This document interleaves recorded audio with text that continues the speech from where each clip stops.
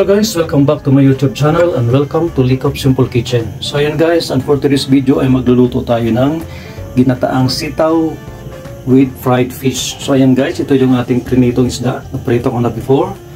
So ito yung mga ingredients. Of course, ito yung ating planch na string beans. Yan. Mayroon akong uh, chopped garlic and chopped ginger. Then meron akong dried red chili at ang ating seasoning magic sarap and of course yung ating coconut cream and iodized salt. So ayan guys. At bago tayo magsisimula sa ating pagluluto, sa hindi pa po nakapag-subscribe sa aking channel, don't forget to like, share, and subscribe Big Simple Kitchen. Samahan niyo ako guys sa aking uh, pagluluto and hanggang sa dulo ng video na ito. Okay guys, magsisimula na tayo. So ayan guys, sugasan natin yung ating sitaw at maglalagay ako guys ng asin maghugas tayo. Hugasan natin ating sitaw na mayroong kasamang asin yung tubig. Yan.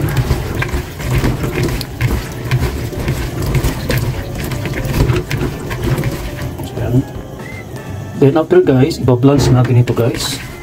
Yung ating sitaw. Papakuluan. So ito guys, blanch muna natin yung ating sitaw para mas mabilis maluto, mas madali siyang lutuin pag luto na siya.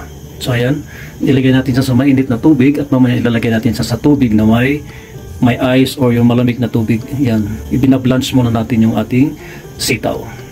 Ito guys, ilalagay na natin yung ating pinakuluan na sitaw sa malamig na tubig. So ayan guys. Yan. Then, hahanguin natin siya guys. Yan, ilagay na natin sa ating malamig na tubig. Then, few minutes, aalisin natin siya. So, ayan po. So, ayan guys. May apoy na yung ating kalan. Ayan. At, uh, nakalagay na yung ating uh, paglulutuan. So, ilalagyan na natin guys yung ating coconut cream. One can lang yung gagamitin ko kasi kaunti lang naman tong aking uh, sitaw. Ayan. So, i-open natin siya. Ganun. Then, bubuksan natin. Ibubuhos natin to guys. Yan, na-shake ko na. At i-mix natin siya guys. Hanggang sa kumulo. So ayan. Ito yung ating coconut cream. Din habang nagkahalo tayo guys, ilalagay ko na yung ating uh, ibang ingredients. Yung ating uh, chopped na garlic, at chopped na ginger, and red chili. So ayan. So lulutuin muna natin yung guys, yung gata.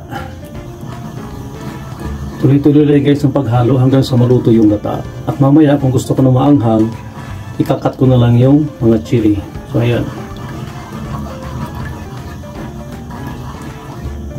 So maglalagay na lang ako guys ng ating seasoning. Ayan.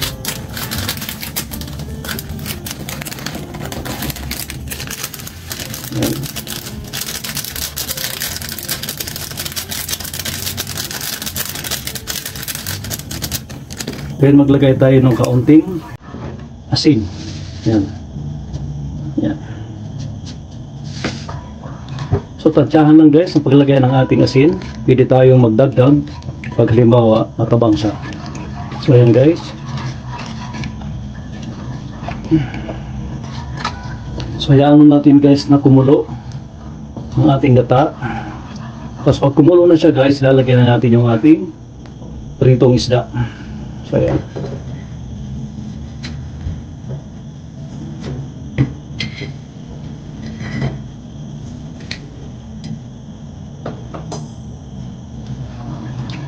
Ayan.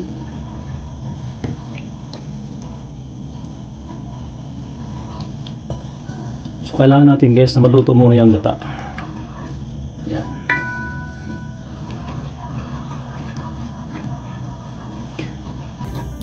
Guys, habang uh, nanonood kayo sa aking video, paki-comment naman guys kung anong lugar kayo naroroon para may shoutout ko kayo sa aking uh, sa susunod na i-upload ko na videos.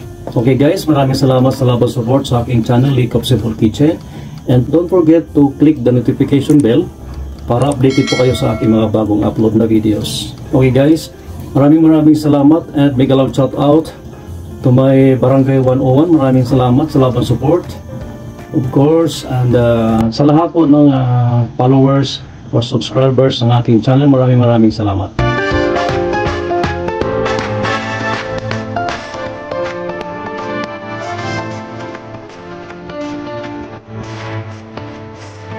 So guys, Lalagay na tayo guys ng ating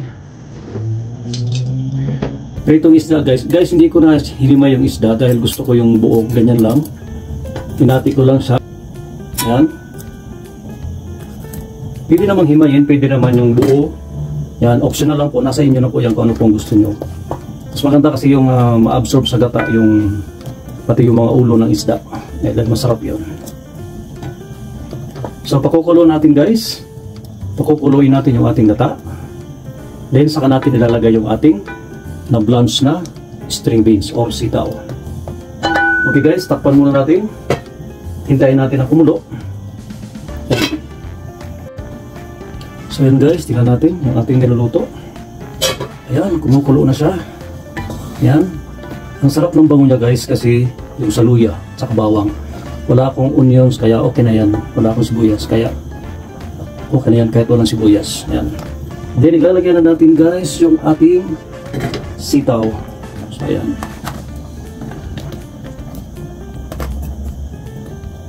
Matagal na po guys, hindi nakakakain ng ganitong ulam. Kaya, naisipan kong bumili ng gulay. Nakabili ako ng gulay. Nung sitaw na to, nung gulay pumunta ako ng bayan. Isang tali ay limang real. Limang real ba yun? O 8 real, mga ganun. So, ayan. So, haluin natin siya guys. Ayan hanggang sa mag-combine yung ating gata sa ating sitaw. So ayan. Hindi ko na dinumihan ng gata guys kasi kakaunti lang naman itong aking sitaw. Ayan. So takpan natin ulit siya guys at titikman natin kung ano yung lasa. Ayan. So na guys, i-check natin. So ayan na siya, kumukulo na. Ayan. Ang sarap ng bango niya guys. Yung aroma ng ginger sa kanang garlic. So, tikman natin guys ang lasa.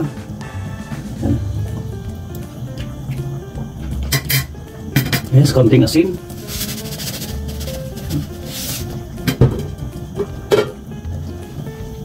So, yan guys. Mm.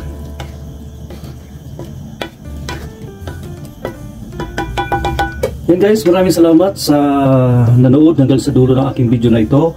At sana patuloy niyo na suportahan aking mga videos at ang aking channel. Maraming maraming salamat guys sa inyong lahat sa laban support. Okay guys, kain na na!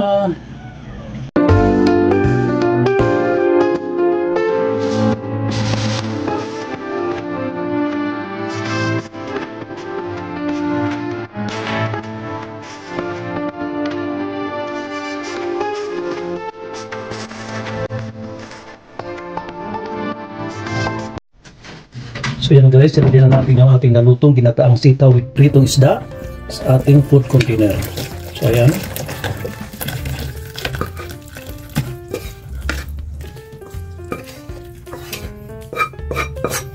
Ang bango niya guys dahil sa ginger and chopped garlics. So yan guys. Mm. Yummy. Tara guys, samahan niyo ako kain tayo.